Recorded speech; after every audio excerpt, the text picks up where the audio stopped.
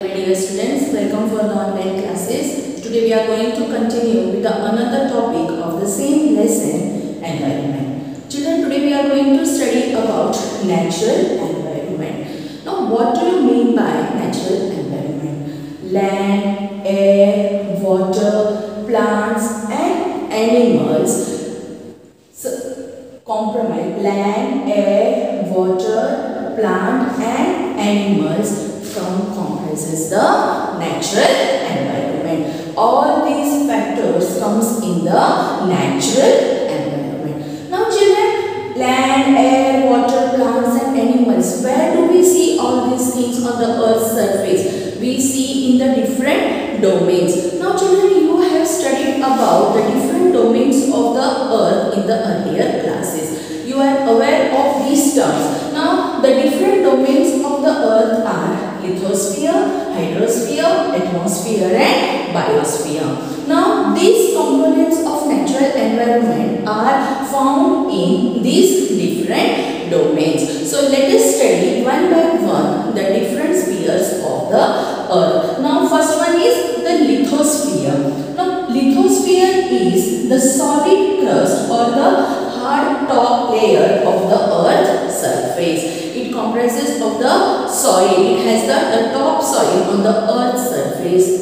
the lithosphere. Now on lithosphere, lithosphere is the solid crust of the earth surface. Where do we find the uh, landforms like mountain, plateaus, plains, all these landforms are found in the lithosphere. Now children, it is the hard solid crust and the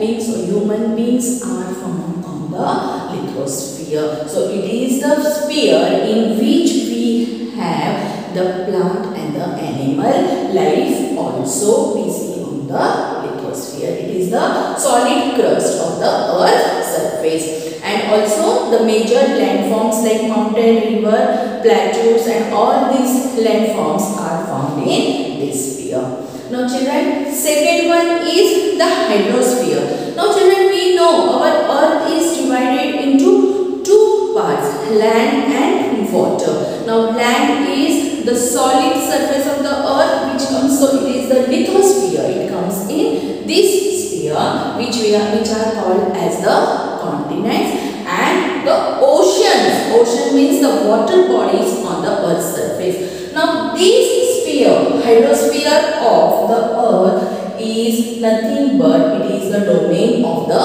water. And we know children that 71% of our earth is covered with water. Means this sphere of the earth is in large portion on the earth's surface. Now children, the landforms like river, flat rivers, uh, then the oceans, seas, all these spheres are found in the hydrosphere. Now children, this is also the important component important component of the uh, environment. Then it comes the then comes the atmosphere.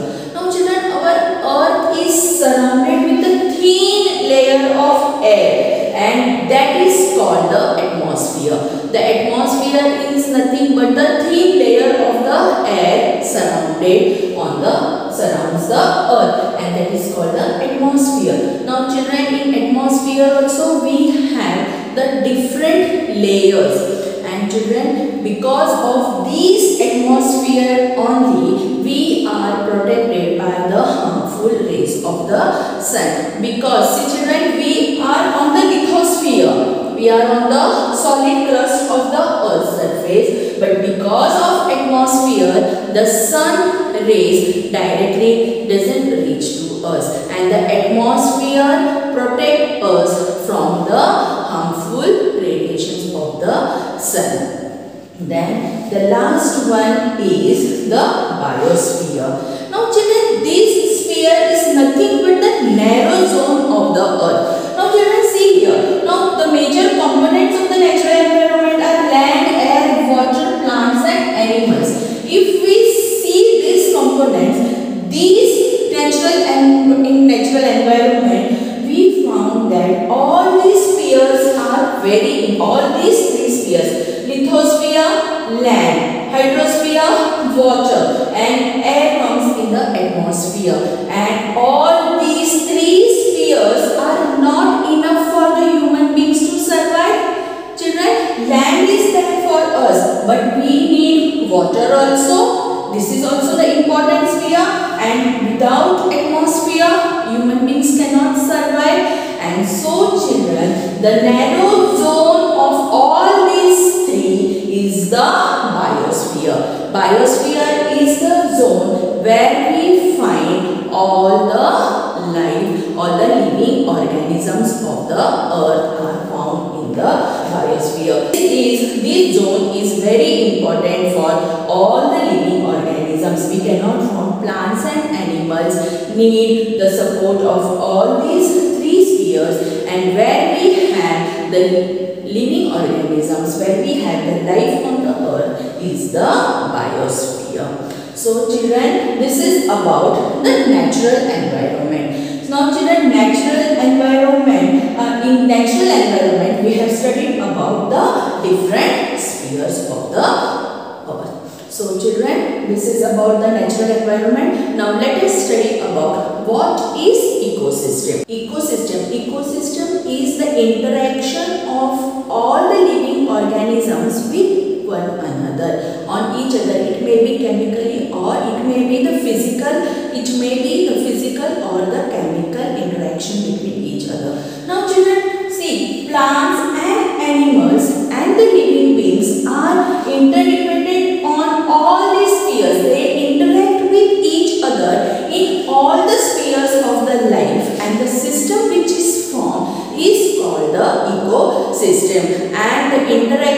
of plants, animals and living beings together forms the ecosystem. And all these spheres are very important to keep the balance in the ecosystem.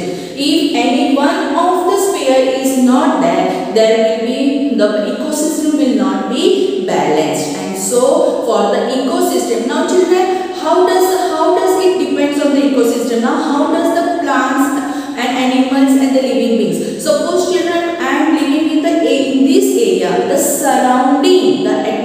atmosphere the living conditions of my surrounding makes my ecosystem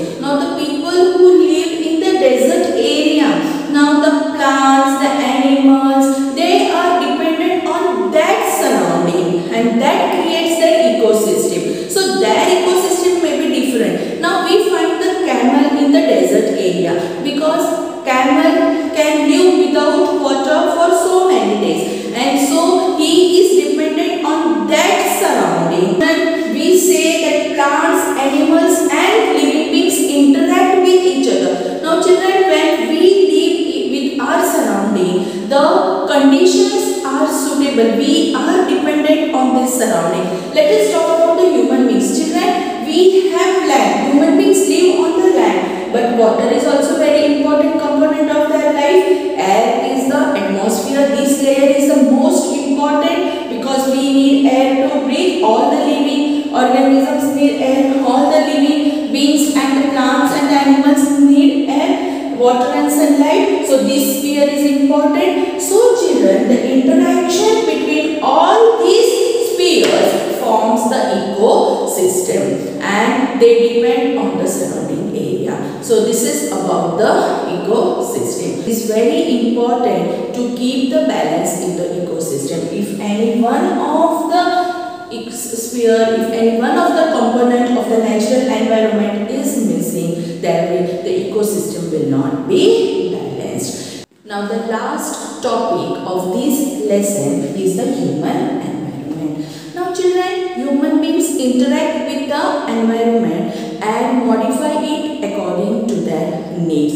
When we talk about the early man, he accepted the environment as it was and he led a simple life. But as the time passed, when the fire was discovered, when he got the idea of agriculture, early man started living his life more differently. He was also anxious for the new things and he started living the settled life. As the time his requirements changed and he also accepted the environment according to his need. His needs also increased and so children, the environment changes according to the need of the people. Now children, the invention of the wheel totally changed the scene in the surrounding of the human beings because the invention of the wheel transportation became easy more and more easier and people started living started living the life more comfortably. Now children as the time passed slowly and slowly new technologies or new technology was used for the uh, resources available and the human beings modified the resources available to them and they started living their life in the more precise way. Now children, when we talk about the human environment, it is the environment when the human beings interact with the environment and whatever things are available, whatever resources are available to them in their surrounding, they modify accordingly and they start living their life and they also get